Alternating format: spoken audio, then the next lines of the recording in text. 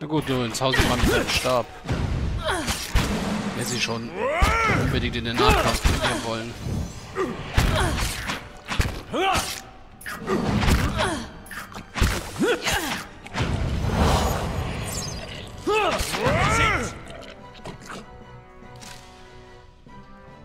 Hey, I'm here.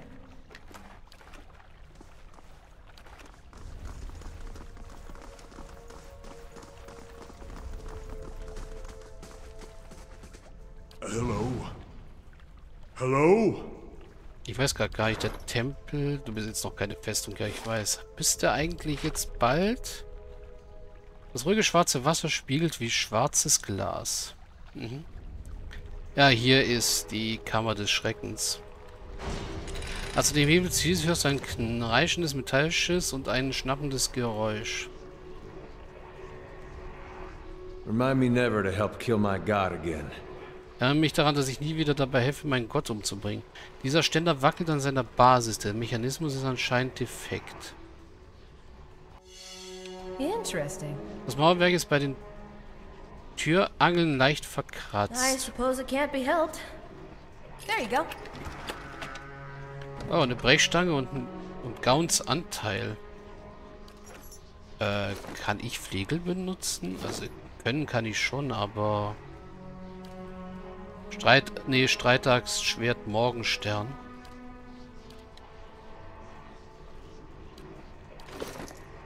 Oder gilt das als Morgenstern? Oh, die ganzen Fallen. Die ich nie benutze, deswegen werde ich sie wahrscheinlich verkaufen.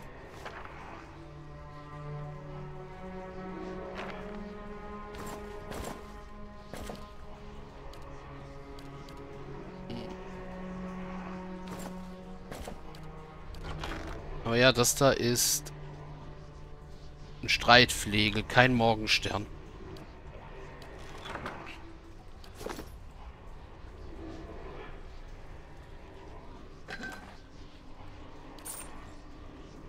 Silberlusken und Mondstein. Was haben wir da hinten noch in der Ecke? Silberluske. Ein Trank des Geisterschildes.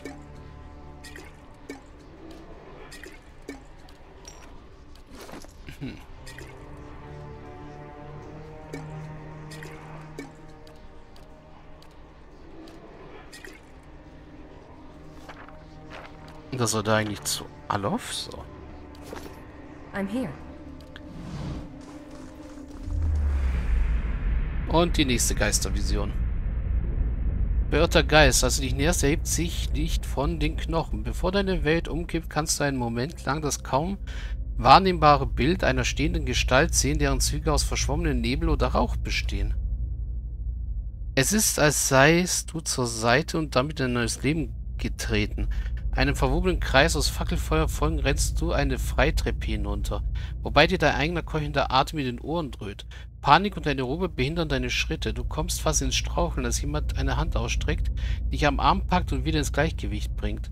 Dein Akolyt-Kollege Kollege lächelt dir aufmunternd zu, als du den Fuß des Tempels erreichst.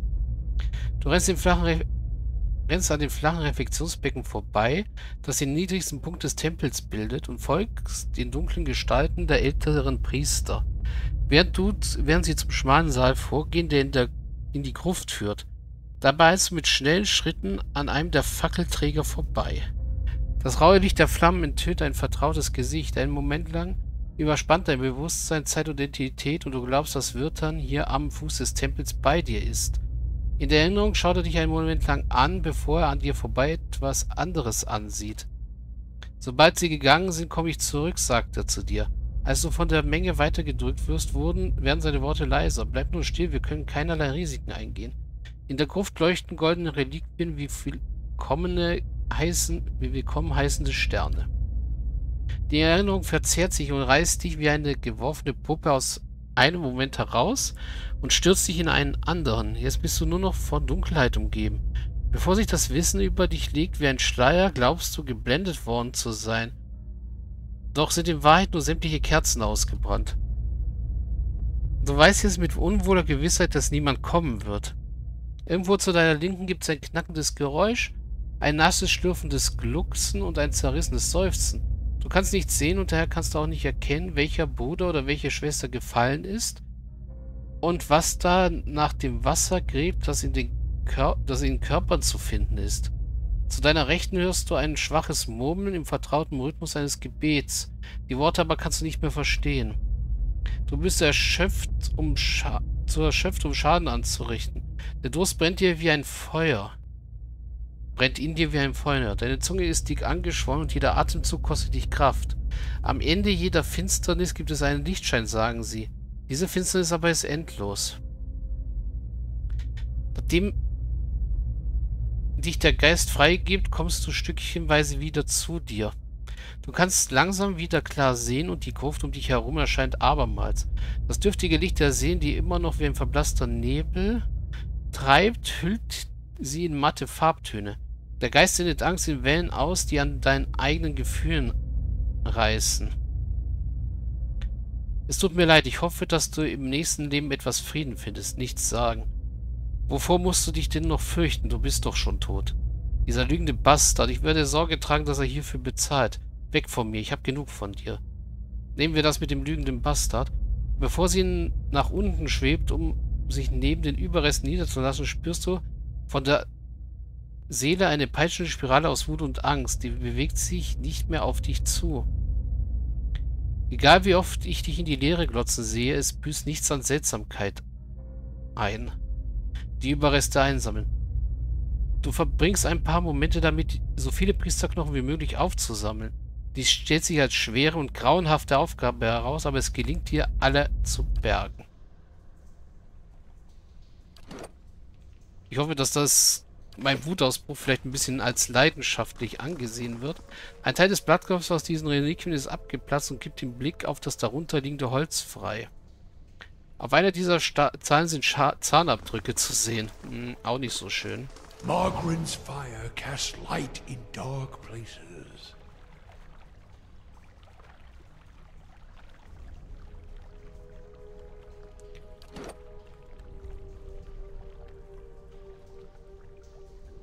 Ja, Entschlossenheit bringt Konzentration, Abwehr und Wille, was schon mal gut ist. Dass wir den Entschlossenheitsbonus haben. Hm.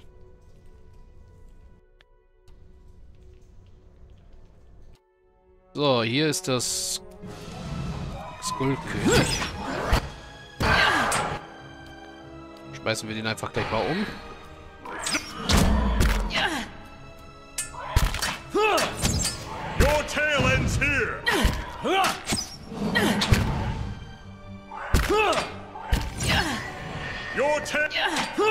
That's not very helpful. So. Dass du uns jetzt gerade so viel einstecken musste, war nicht geplant. Oh.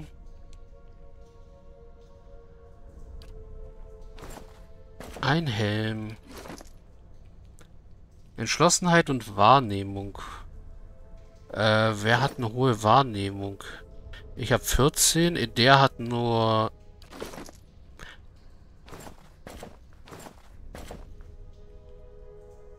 Ich würde gerne Helme ausblenden können. Das muss ich mal dringend gucken. Hm. Weil ich weiß, im zweiten Teil gab es hier ein Augensymbol, was man anklicken konnte, damit Helme ausgeblendet werden. Das gibt es aber wohl im ersten Teil noch nicht. Yes. So, jetzt kommen wir hier nach oben wieder.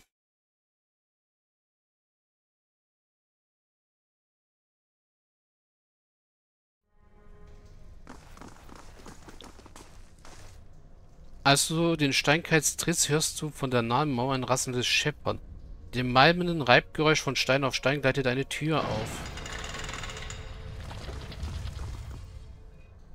Diese Kerzen flackern sanft, dass du dich näherst. Über den Altar, wo wohl einst, eine wo wohl einst ein Spiegel in die Decke eingelassen war, ist nur noch eine mit gebrochenem Glas gesäumte Lücke. The candles are still burning. Not bad for a dead god. Die Kerzen brennen immer noch. Gar nicht schlecht für einen toten Gott. Was soll das Redemption. They got this whole right for when you come of age. They take you by the hand and you descend through the temple with your eyes covered, and that's supposed to be like a wicked life. They don't tell you where you're going. I was sweating like crazy when I did mine. Erlösung. Sie haben dieses Ritual, wenn man volljährig wird. Sie nehmen einen an der Hand und führen einen mit verbundenen Augen in den Tempel hinab. Und das soll einem sündhaften Leben entsprechen. Sie sagen einem nicht, wohin man geht. Bei meinem Ritual schwitzt sich wie verrückt. Er zwinkert ihr zu. They take you to that reflecting pool back there, and you're allowed to look at it so you can face your sins. Then, you come out into this room and you uncover your eyes again, and everyone's there to greet you, all your friends and family. It's like you've been redeemed. You light your candle, and it burns with the others. Never had a feeling better than that my whole life. Sie bringen einen zu diesem reflektierenden Becken da hinten und dieses darf man dann ansehen, um sich seine Sünden zu stellen. Dann führen sie einen in diesem Raum hier und nehmen einem wieder die Augenbinde ab. Und alle sind da, um dich zu begrüßen, all deine Freunde und Familienangehörigen.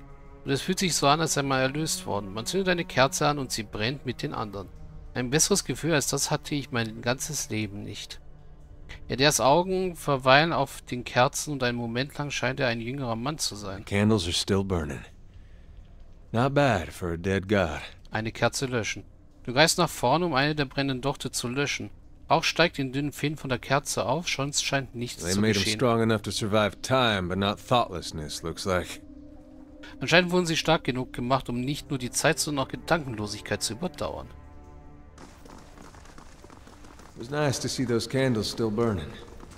I figured they'd have gone out by now. War schön zu sehen, dass diese Kerzen immer noch brennen. Ich hatte gedacht, dass sie schon ausgegangen wären. So, dann holen wir uns hier die Rastvorräte, die es noch in diesem Raum gibt. Da sind wir nämlich wieder voll mit Rastvorräten.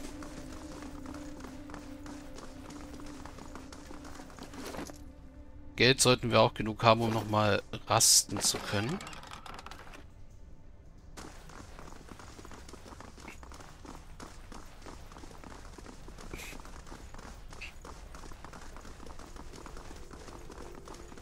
How do you do? Als du dich ihm näherst, lächelt Witter nervös. Ich glaube, das Schlimmste ist überstanden. Der Arm schmerzt etwas weniger. Er zögert. Warst ziemlich lange da unten. Hast du etwas gefunden? Seine Augen schießen ständig auf den Ruinen hin und her.